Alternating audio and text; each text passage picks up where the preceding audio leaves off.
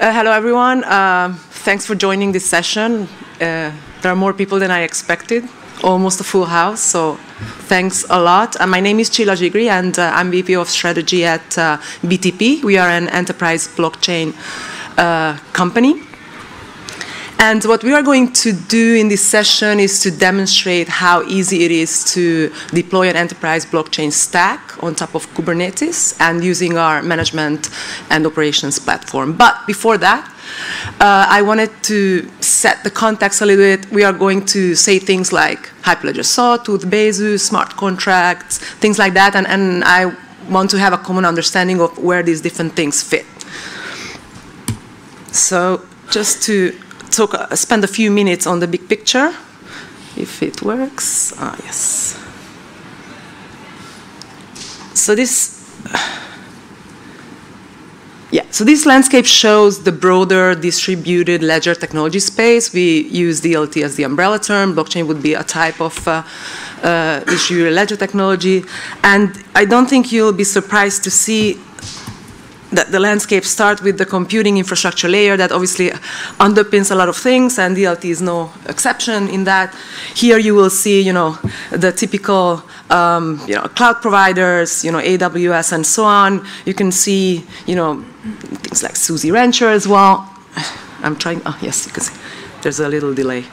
Uh, and also, you know, uh, container orchestration tools like Kubernetes. We are, we actually extensively use this tool in, in, in our platform.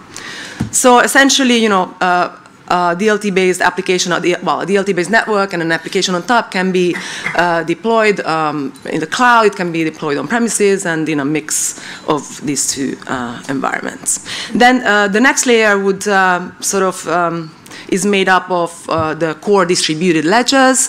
Uh, we differentiate between uh, permissionless, permissioned, and hybrid protocols. Uh, just uh, right now, companies are using you know a number of these. It's we're sort of living a multi-chain or multi-ledger world. They choose one based on you know their requirements, based experience or skills that they have, or vendor relationships, and so on. So if you maybe, obviously, uh, uh, you may know the Hyperledger Foundation is part of the Linux Foundation.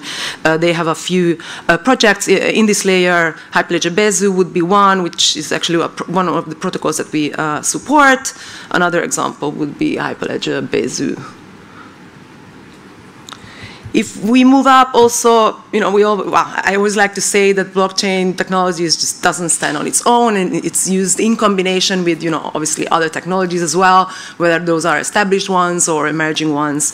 You know, it could be something like very simple as, you know, we all know distributed file systems. We have been, you know, using them for years, but you can uh, put a distributed ledger uh, underneath and then make it more, you know, decentralized. Um, also, you know, for example, other blockchain can be used in conjunction with artificial intelligence, with IoT. There's actually a very cool project, for example, uh, Helium, that uh, is uh, they provide a decentralized um, wireless infrastructure for this short-range type of IoT devices. It's a very, very cool project. So they, they take advantage of, you know, different uh, technologies uh, in combination. Then, if we move up the stack, Interoperability, obviously, that's important everywhere because, again, we are in a multi-ledger or multi-chain world, so you have to make these things work together. Uh, and also, you know, legacy systems used by different enterprises. So you want to make sure that, for example, you can interact and transact across, you know, different systems uh, uh, as smooth as possible, seamless, as seamlessly as possible. So there are a number of, this is a very fragmented space still, but there are a number of uh, projects that are focusing actually on, on this, as well as know, different standards organizations. And then if we move up, obviously smart contracts and asset tokenization is a very important layer uh, in this space. Uh, smart contracts are known as transactor uh, transaction protocols that run on a distributed ledger, but they can also run on a database. But yeah, I would always prefer that they run on a distributed ledger. Uh, smart contracts essentially just uh, automate and formalize relationships uh, between organizations, individuals, and even machines with, when it comes to IoT type of use cases. And you know, asset tokenization has been now we talk a lot about cryptocurrencies and so on, but you know, other type of assets can also be tokenized and and uh, we can move them, well, trade them on on, on a distributed ledger and using smart contracts and so on. And then the next layer sort of uh, comprises all the you know tooling for for developers that can um, both developers and users just to make their lives easier, and also the integrations with you know existing uh, business applications that you know have been around for years, but now you can you know enhance that with uh, distributed ledger, enhance them with you know just integrating smart contracts and so on. And then on top of you know, all this stack, you can find a wide range of industry-specific applications, decentralized marketplaces, you know, across, across many, many uh, industries. And for the sake of this um, well, presentation today, the important thing is that obviously, as you can see, um, this is not, this is pretty complex. There are a lot of moving, moving parts. They need to work together. You know, many organizations don't have the expertise. So there are companies that actually can make this easy for, for you know, organizations. And we are in the platform space, which you can uh, see on the uh, left-hand side we are BTP. We have this uh, management operations platform that is uh, called Sextant. Uh, we are essentially, what we do is basically just provide all the technology infrastructure and the tools that you need to, to, to be able to uh, build multi-party applications. And then obviously there are other companies in our space as well as you know in the professional services space that they would even you know help you with business requirements and, and help you you know wherever you have a, a use case just builds uh, everything from scratch and, and, and even you know deploy it for you and so on. So this is this is the big big picture and uh, now I'm going back to because now is where Sextant comes into the picture. Yeah, again, you know, it's the basic value proposition of, of, of, this platform is just to make it easy for you to build a multi-party application so you don't have to worry about that, you know, painful underlying technology infrastructure. We can, you know, Sextant can, can, can, can do that for you. So Sextant, uh, very, very briefly, it's a Kubernetes native uh, management and operations platform. It can, yeah, it deploys and manages, you know, um, a range of uh, uh, blockchain protocols. Mostly, we are mostly focusing on permission and hy hybrid type, not, not so much on the permissionless ones. Uh, uh, Sextant also can overlay support for uh, smart contract runtime environments.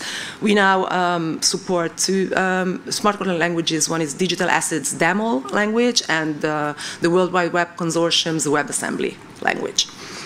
And uh, we can also, uh, you know, use Sextant to, to deploy decentralized, as I mentioned earlier, decentralized file systems, document management systems, and so on for, you know, any type of business critical data. And then uh, we have, there's some actually something new. We, we recently uh, launched a, a, provenance solution. There's also powered by Sextant, which essentially um, provides you with the, the capability to track you know, any type of physical di digital asset uh, immutably.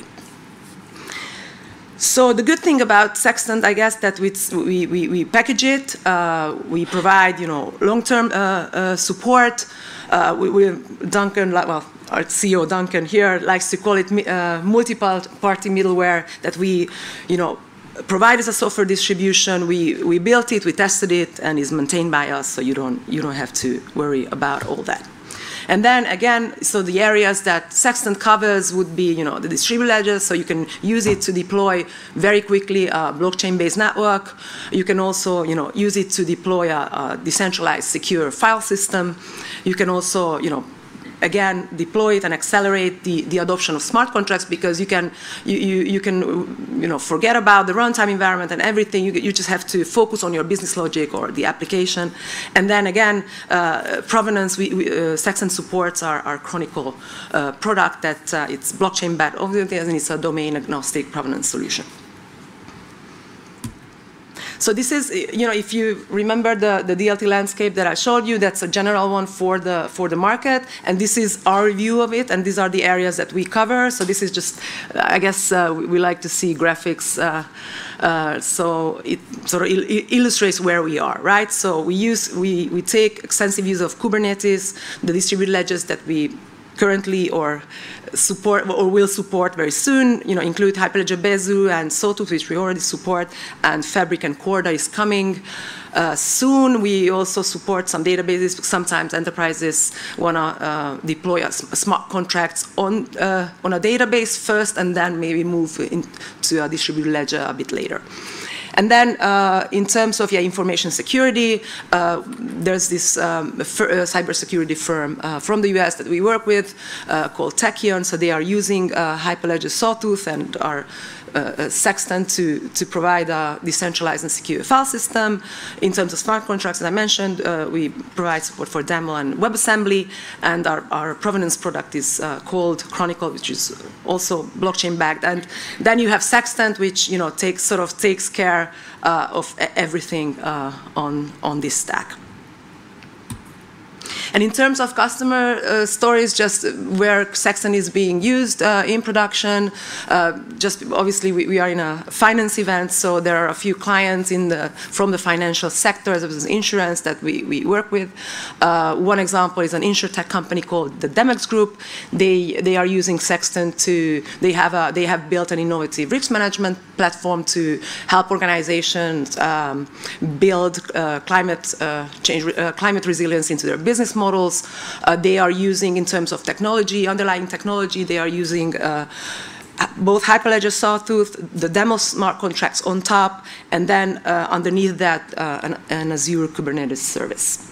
LiquidShare is another uh, uh, company. It's a French startup, uh, financial startup, is owned actually by a number of big European banks, and they have launched a um, cutting edge uh, uh, post-trade platform and they were using Sextant. Uh, in terms of the technology specifically, they are also using the uh, Daml smart contract, uh, but they are using it on top of Hyperledger Besu. And then in, in terms of the infrastructure, they're using Google Kubernetes Engine. And then another uh, uh, example would be the Tel Aviv Stock Exchange. They built a lending platform using uh, Sextant. They are not using smart contracts, but they uh, have deployed uh, Hyperledger to Sawtooth as, as their distributed ledger on top of the Rancher Kubernetes engine. So these are some of the examples where Sextant is already uh, sort of working and being used. And now, uh, demo time. So I'll ask uh, Duncan Johnston-Watt is our uh, is the CEO of BTP, and he's going to do a demo. Thank you. Yep. Thank you, Jill. Thank you. So um, I'm going to run a couple of demos, and uh, there's a well-known saying: "Never work with children, animals, or CEOs." So I apologize in advance. Uh, so the first, uh, the first is really looking at setting up and installing uh, Sextant itself. So we mentioned earlier, Csilla mentioned that Sextant is a Kubernetes native uh, management and operations platform. And so what we did uh, not that long ago, in fact, was uh, we integrated it into the SUSE Rancher marketplace. Now, if you don't know what SUSE Rancher is, it was originally Rancher Labs. Um, Chris Aniszczyk from CNCF is here.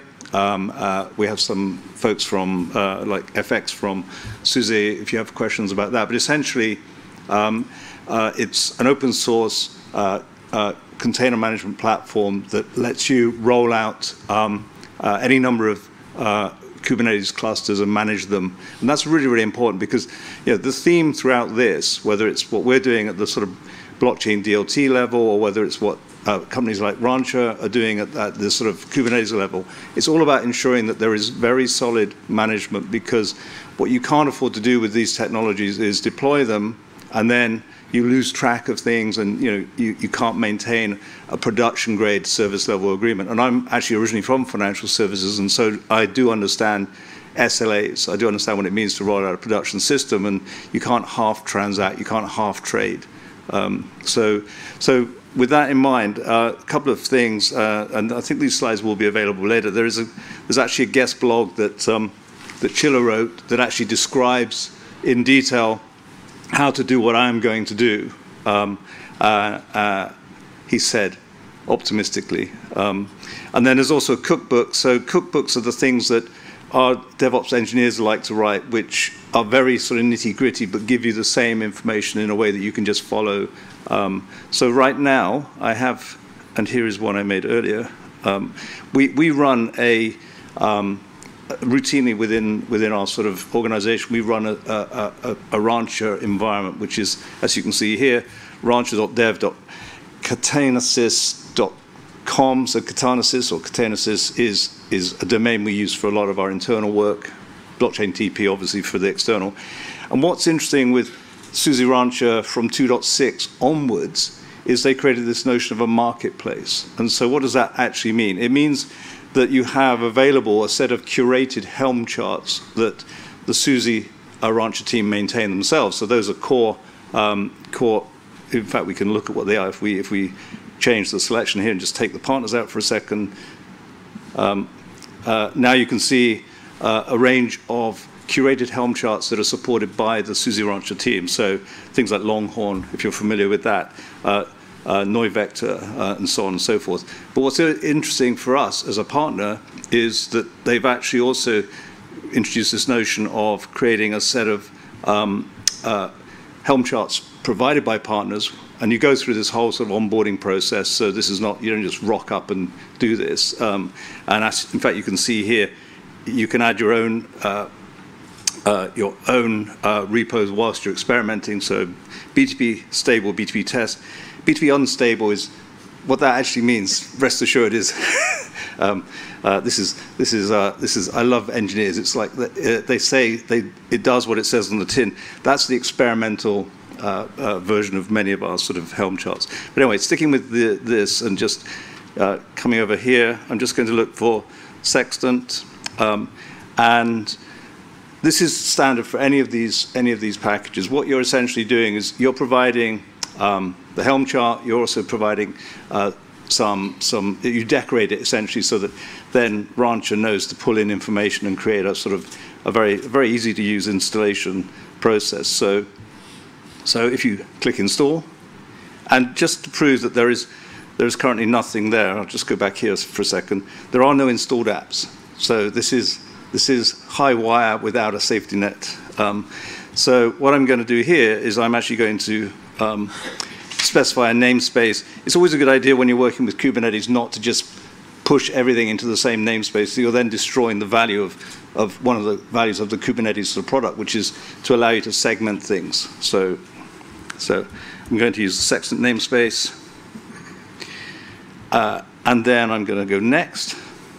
Now, this is the only bit where you actually have to interact with us. And so you have to go and get credentials. The reason for that is that uh, and we will probably be changing this over the course of the summer. But right now, we, we, we want to engage with people, uh, which in the open source community, it's this sort of do I, don't I? Do you just push stuff out there and let people use it, or do you want to have some kind of uh, uh, you know, engagement with them? So right now, we, we, we politely say, would you mind just pinging us and we'll give you the user credentials. So what does that mean? It means that this allows us, or rather it allow, allows the Helm chart that's running behind the scenes to actually pull through our sextant uh, uh, uh, Docker images from a, a repo that is obviously behind uh, user credentials. So I'm just going to load these here. Uh, and I stored them because uh, it's much easier to store them using LastPass or something like that. And this was actually originally part of a tutorial that we did for SUSECon a few weeks ago. So this is, these are the credentials that I, that I was given. There are a few other things I could set here, but I'm just going to accept the, the default. So for example, here I'm saying just, just create and, and, uh, and use an internal database to store any of the sextant state. You could, of course, actually connect this to an existing uh, uh, Postgres database. So anyway, hit install, say a prayer to the demo gods. Um, so what's it actually doing? It's literally what's going on behind the scenes is, um, and I should have said by the way, I'm operating within one of these clusters. So I skipped the bit where, you know, because Rancher allows you to set up access to multiple clusters, I'm just using the default one, which is normally called local. So what it's now doing is, and it's done it. Okay, so it's now installed Sextant. Uh, we can see that because um, if I if I come across to here. Um, I can't actually access Sextant at the moment, so there's nothing running there. But if you look at the instructions in, in the Rancher install, what it's saying to me is, I, and this is a sort of easy way of doing it, is I, I can just basically, um, if I can manage to operate a computer, I can grab that.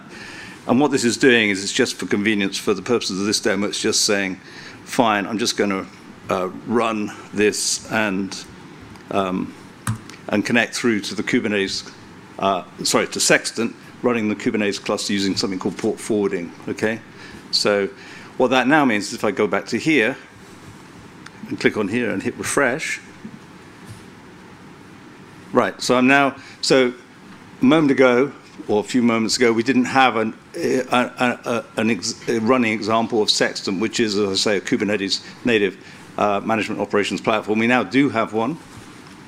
And you'll notice that uh, when you install it, it also gives you um, uh, uh a way of extracting the, the, the, full admin credentials, so admin being the username and uh, a generated uh, password. So I'm just going to, again, pull these through from here. So far, so good. Um, so the first thing to note is that because we've done this as part of the installation within the Rancher world, we've automatically pulled through the definition of local, which was the cluster that, um, that we've installed Sextant on. Now that's quite convenient. Uh, you can, of course, add other clusters. So if I step back a minute and say, well, what is Sextant really doing here? Um, it's really only concerned with three things. Users, um, we have a default user, so we use that. Uh, clusters, so again, in the same way that the rancher, SUSE Rancher manages clusters, we also need to talk to clusters. Now, we're not managing them, somebody else is creating them, deploying them, and so on, but what we need to do is, is get the service, uh, create a service account and get the credentials so that we can actually interact with, with that cluster. Um, interacting with it means we can ask it to do things. We can ask it to install uh, using Helm charts. So behind the scenes, Helm charts, Helm charts, Helm charts. So with Helm, with, the, with Helm version 3.x onwards, uh, we return to using Helm because it's, it's now super clean and easy to use. Um, so everything, whether it's, uh, whether it's the, the rancher guys uh, importing things into the marketplace, whether it's us creating these, these deployments uh, around DLT, smart contracts, and so on, what we're all doing behind the scenes is curating Helm charts and making sure they're robust, versioned, etc. So clusters are you know, the target environments. And then deployments are really, this is where we get into that stack that Csilla showed you where we're actually going to pick and choose, right, do I want Sawtooth, do I want Damwon, Besu, uh, etc. So, so if I stick with the clusters, um, I also have a sort of simplified, super simplified read-only view just so you can see here, this is a, obviously this is an actual EKS cluster that's running in uh, EUS1 for those that care about these things. Um, there are no deployments running there. Uh, so uh, uh, so what, what, am I going to do? I'm going to add a deployment. So this is really where it starts to get interesting. So uh, the, the choices here in the, in, the, in, the, in the community edition are somewhat restricted at the moment. We're just focusing on Besu, Sawtooth, and Damwon Besu, Damwon Sawtooth. That's because with companies like Taekion, who we're working with in the InfoSec space, you know, we're not allowed to distribute and make their stuff freely available because obviously it's a partnership. Um, Chronicle uh, is not here yet, but will be added shortly. So because that's ours, we have full control over that. But again, going back to that picture that Csilla showed you, the key thing here is to give you a kind of a set of options. So uh, I will I will start with my favorite, which is Sawtooth. And again, in much the same way that the installation process that was presented by Rancher a few minutes ago, we are also simplifying things. So we're saying, look, we'll, we'll, we'll provide the sensible defaults for you. Now, uh, we've kind of gabbled our way through this and sort of never really said what a distributed ledger is when it boils down to it. What it is in this case is going to be four nodes which are wired up uh, that have a protocol uh, that, that allows them to talk to one another and establish consensus. Why is consensus important? Because you only ever update the state of the world when there is agreement amongst those nodes, and four is the magic minimum. So you can't do anything with less than four nodes because you want to be able to assure that you know, we can continue to operate even if we lose a node. Um, if I go from four to seven nodes, I can afford to lose two nodes before I have to sort of halt the network until things have repaired, and so on and so forth. So basically, what you're doing with, and this is true of a, a lot of the consensus um, uh, mechanisms, is you want to make sure that uh, that there's no, there's never more than a third of the nodes either under attack or out of action. If there are, then you, you cannot proceed because you cannot, uh, you cannot uh, create consensus. Consensus is, it's, it's, in our world, in the world of permission, it's a mathematical consensus algorithm called normally practical Byzantine fault tolerance or Istanbul uh, Byzantine fault tolerance, which is, which is the Besu version. Uh, but these are not proof of work. Uh, so we're not consuming you know, vast amounts of electricity, uh, however cheap or not. Um, so I'm going to give this a name. I'm good on names, sawtooth deployment and sawtooth namespace. I was running this during one of the keynotes. It worked twice, right? Engineers induction, okay? Once, phew, complete fluke. Second, all right, we're motoring. Now three, it's, it's a universal truth. So will this, will this actually work three times? Um, so what we're saying here is we're going to accept those defaults. And as I said, we're now going to, and if you recall, um, we've got a four node cluster conveniently. Uh, so we now hit deploy.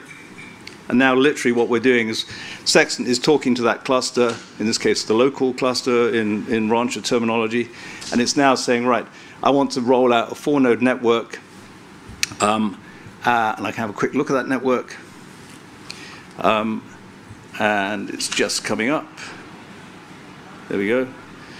So what, what have I actually done here? So um, again, harking back to what Csilla was saying earlier, you know, we want to ensure that you, if you're developing an application, if you're working with Sawtooth directly, then you're creating things called transaction processors. If you're working at the smart contract level, then obviously you're developing smart contracts. But whichever level you're operating at, we want to provide a very solid runtime environment for you.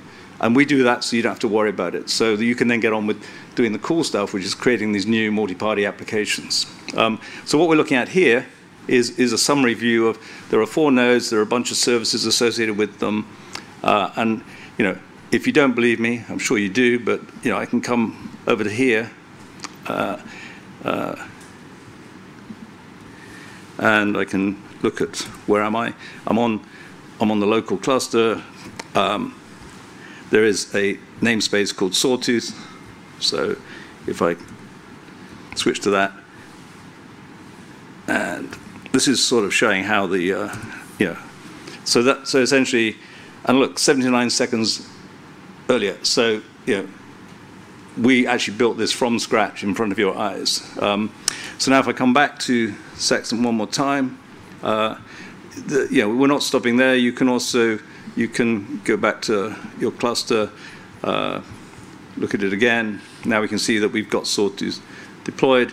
We can now add Daml Besu. Um, now, to add Daml Besu, there's one thing you need to know, which is you need to actually uh, add image pool secrets. So I'm not going to actually do that here. I don't want you to see my image pool secrets. But essentially what's going on here is there are certain components that we want to pull through that are, again, in a, in a repository, a Docker repository that we manage. Um, but hopefully uh, you get the idea of what we're trying to do. Um, uh, and that basically ends the demo. Um, hopefully we've got time for a few questions. Um, we're everywhere. If everywhere is Edinburgh, Barcelona, London, New York, and San Francisco. By the way, Edinburgh is now the number one city in the world according to Time Out. Uh, number so, one what? City in the world. Best place to live. Best place to live, okay. uh, what else? So, but so you're all welcome. Uh, but we have time for a few questions if people have any. Yes, please. I'm sorry, it's a stupid question. Uh, running the blockchain. Yep. So it's known to deploy but that would be typically a globally distributed network of nodes, in order for doing working and calculating the next block some, coins. Mm-hmm. Are these nodes that you're typically deploying, customers are deploying, are going to be all internal to their industry, or would they be distributing nodes across a group of companies? Okay. Can I answer that? Yeah, of course. Um, so the big difference, and this was something that Csilla talked about in terms of the types of, uh, of blockchain or DLT, uh, majority of the, the, the, the public ones have some form of native token, and there's some way of rewarding participation. When you're working with the, the, the, the, the uh, permissioned or hybrid world that we, that we live within, you actually take a different point of view, which is you govern who can contribute nodes. And so there's a whole layering of, of that. So you're not so you're not rewarding people simply by rocking up and adding a sawtooth node.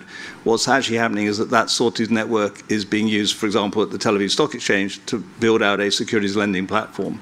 And in the same way that there's, you know, you're all in, uh, I hope you're all familiar with things like message-oriented middleware, right? Um, there is this thing called the internet, but when you're actually working within a bank or financial institution, you'll roll out a, uh, a you know, a, a, message bus, but your message bus might, you know, might extend quite far into sort of uh, into in, into other companies. But uh, you know, and it may even be the Swift network ultimately or something like that. But in general, you're not doing a one. There's no there's no notion of a single blockchain. What there is is is a number of different blockchain networks, and that's why interoperability and bridging between them becomes important. So in the in the enterprise space, which is where we live, it's all about you know whether it's whether it's somebody operating the network as literally the network operator, whether it's somebody doing that and then adding participants who can contribute nodes, or whether it's a consortium where everyone is contributing nodes. What we provide uh, and what other companies provide is is really the glue, the way of actually attaching uh, nodes to an existing network. So where I was in Sawtooth saying, yes, I'm going to create a Genesis block, if you're not, if you're adding, contributing, let's say, three new nodes to that network, you wouldn't actually attempt to add a Genesis block. Instead, what you would do is, is be given the credentials that allow you to then wire yourself into, into what is essentially a, a virtual private network. So a lot of what we do around this is, is uh, when I say we, this is us as a company advising, is, is create a very secure environment in which to operate, which can be multi-party. So this is not within a single organization. But um, so the short answer is th there is no reward because what you're typically doing is developing an application or service, and that is what's really of value. So hopefully that answers the question. I mean, reward is just feeling good about having deployed something without having to do any effort. Right, so uh, next question.